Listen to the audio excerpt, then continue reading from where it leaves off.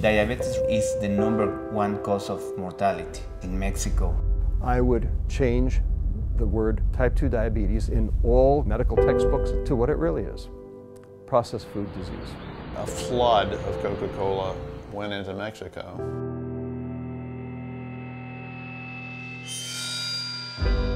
How much of my product can I get into their stomachs per day?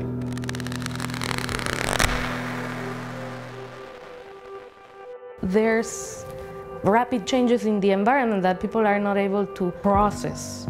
Mothers who were concerned that their children would get dysentery from polluted water fed their babies Coca-Cola. What they aim for is brand indoctrination. As soon as they turn 12, they may drink that product forever.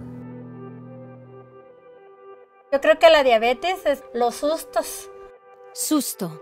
It means a shock, a scare.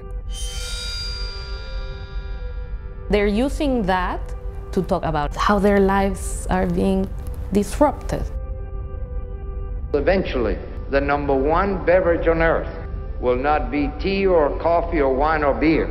It will be soft drinks, our soft drinks. Es hora de ponerles un alto. There's a fight. It's causing a domino effect.